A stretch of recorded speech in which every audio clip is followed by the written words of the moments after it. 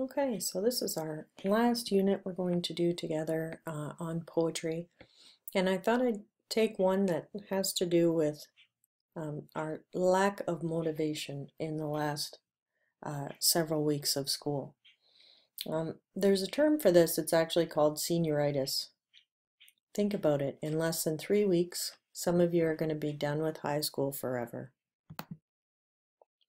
Senioritis is an actual thing. It's a supposed affliction of students in their final year of high school or college characterized by a decline in motivation or performance. Um, I tried not to let my grades suffer from my senioritis.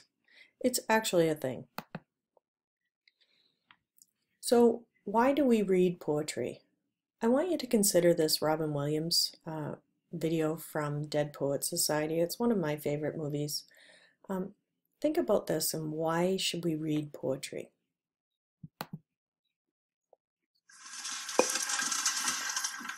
We don't read and write poetry because it's cute.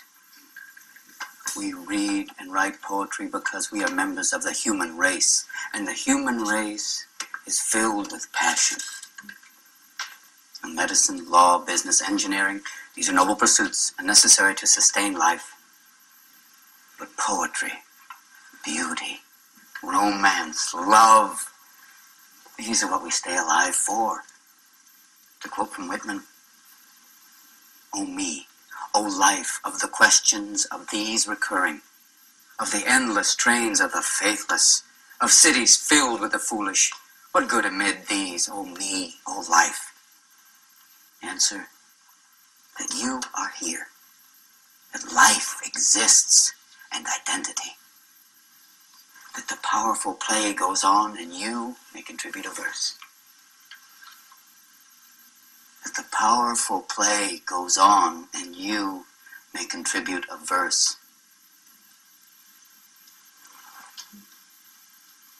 What will your verse be?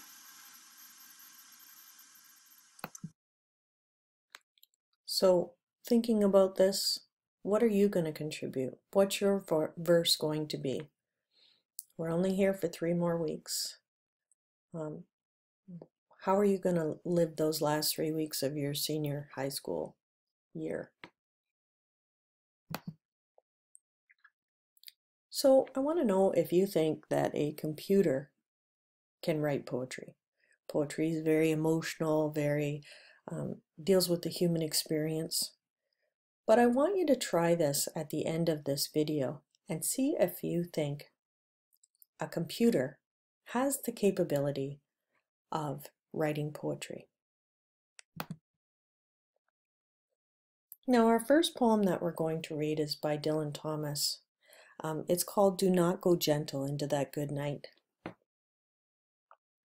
Um, if you look at the page with um, the first with the poem on it, um, just a little bit of background about Dylan Thomas. Um, he was born in 1914 uh, he left school at age 16 to become a writer. And a lot of this poem has to do with um, how he uh, was addressing it to his father. His father was um, failing in health, and he was uh, he was he was dying. Um, but he was also struggling with mental illness, and he died a year after this poem was born. Um, this poem is uh, in a villanelle, which is a 19-line poetic form consisting of five tercets followed by a quatrain. Um, and I want you to really think about this poem and how it relates to your life. Thinking about the title, Do Not Go Gentle into That Good Night, Rage, Rage Against the Dying of the Light. Here's the poem read by someone and it, it's really an interesting take on this. I want I wanted to share this with you. Maybe not.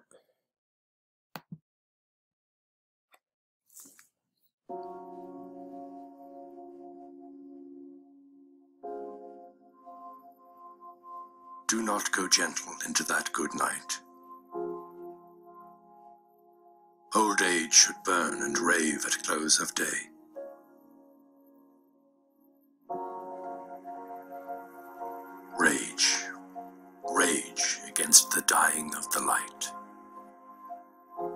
Though wise men at their end know dark is right, because their words had forked no lightning, they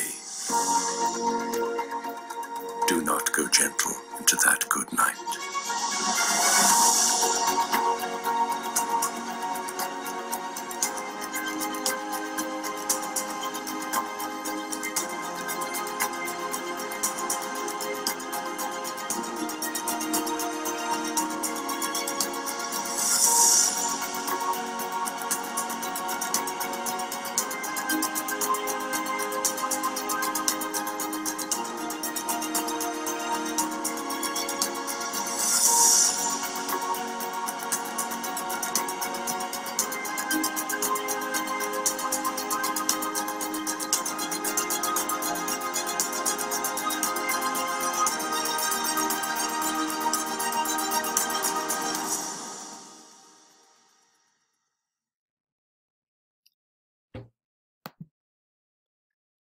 Okay, so there's uh, four questions that I want you to do. Um, the fourth one isn't listed here, but I want you to do um, the four questions that are on the back of your page.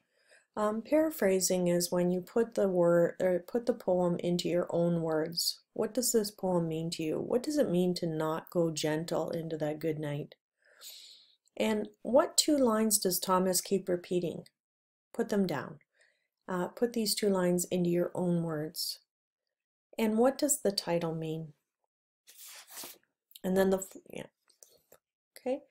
Um, and then I, I have another assignment for you to do. I want you to um, find a song that kind of relates to this poem to you. Um, this is one that I think really relates to the song. It's 21 Pilots Truce. I'll let you listen to it here.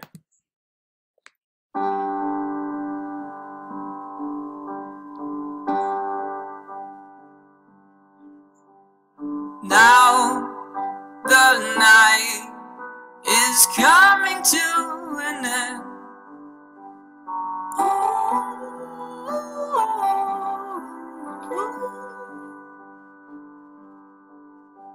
The sun will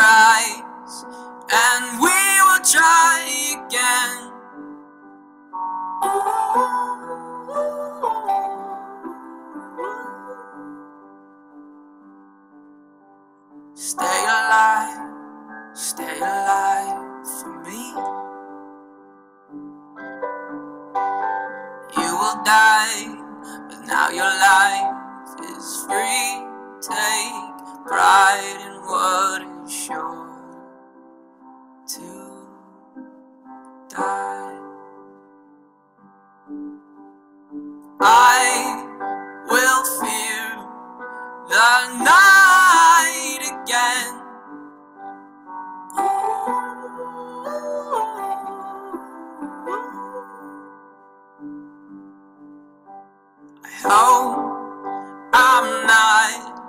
my only friend.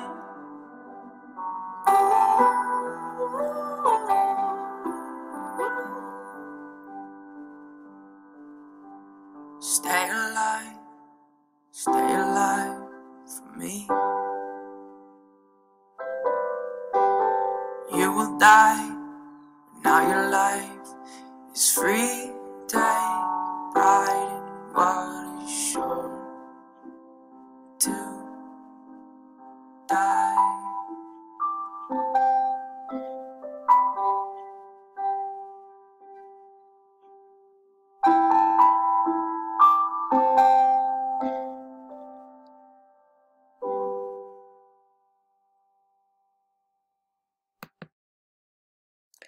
So your assignment is going to be to find a song that you feel relates to the poem. Compare and contrast the lyrics of this song to the lines in the poem. Try to find three things that you can compare to.